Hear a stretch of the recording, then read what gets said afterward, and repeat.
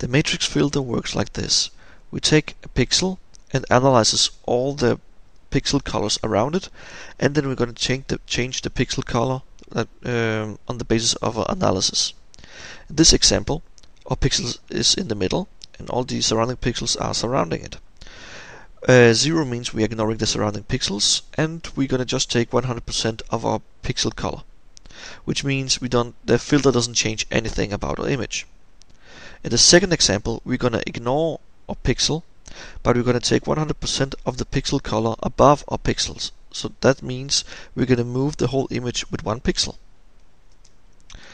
On the third example, we're just going to ignore the surrounding pixels, but our pixel is going to uh, double its value, which means we're going to lighten the whole image.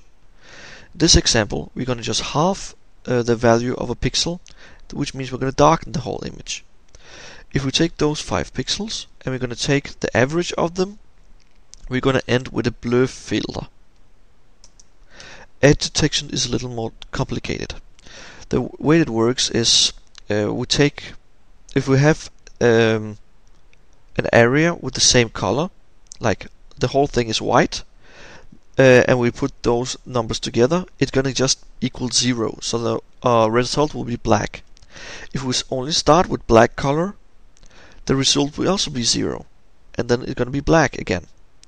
But if we have like this, those pixels right here are white, and these pixels in this area are black, this means that this is gonna make uh, be the very dominating, and we're gonna end like 400% uh, minus 100% minus 100% equals 200% white. So this place is gonna be very white if we have an edge like that. We can increase the edge detection strength by just multiplying the numbers, and you can see how it's gonna be strengthened with uh, higher values. If you want to make a sharpen filter, it's just like uh, edge detection. But the thing is that we're gonna increase it by one, which results in that we're gonna see the picture. So it's gonna use the original colors, and we're gonna mark the edges uh, where the contrasts are, like here and here, between the black and the white areas. The emboss filter is also like uh, the edge detection filter, but instead of just uh, marking it like in the sharpen filter, we're gonna make it lighter in the left upper corner and darken it in the lower right corner.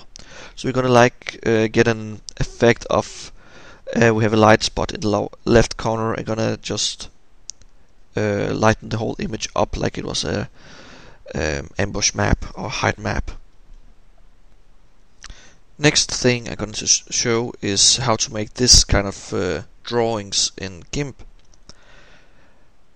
we're going to start with a picture like we had this and uh, I'm going to go on my filters generic convolution matrix and I'm going to blur this image a little. I have already set the values in and I'll just press OK.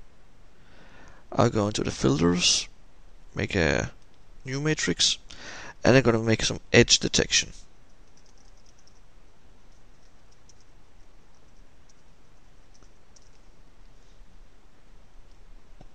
I think I'm gonna make I'm gonna invert it and make it stronger.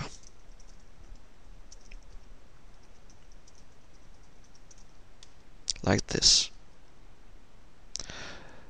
Then I'm gonna just level the image out. Oh, I forgot to turn off the colors. And then I'm gonna level it out.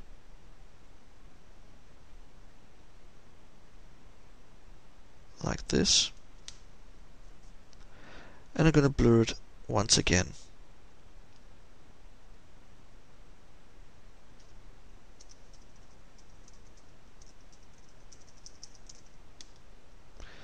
And I'm not going to invert it. And we got just this nice drawing.